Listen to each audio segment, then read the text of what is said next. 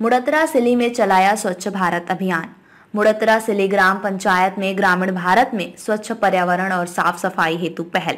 राजस्थान के जालौर ज़िले में मुड़तरा सिली ग्राम पंचायत में स्वच्छ भारत अभियान चलाकर पूरे गाँव में युवाओं और व्यापारियों द्वारा बाज़ार बंद रखकर सफ़ाई अभियान चलाया गया, जिसमें युवाओं ने बताया कि देश की ग्रामीण स्वच्छता कवरेज निन्यानवे प्रतिशत का आंकड़ा पार कर चुकी है और स्वच्छ भारत मिशन अपने अंतिम चरण में है। तीस राज्य और केंद्र शासित प्रदेश खुद को खुले में शौच से मुक्त घोषित कर चुके हैं।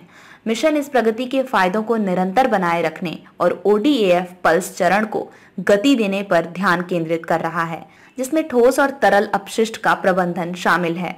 घनी आबादी के शहरी क्षेत्रों के बाहर भूमि का एक क्षेत्र, गाँव या ग्रामीण क्षेत्र कहलाता है। और इस सफ़ाई अभियान में युवाओं और व्यापारियों ने ज़िम्मेदारी के साथ काम किया है। उनको 26 जनवरी को भामा शाह द्वारा इनाम देकर सम्मानित किया जाएगा।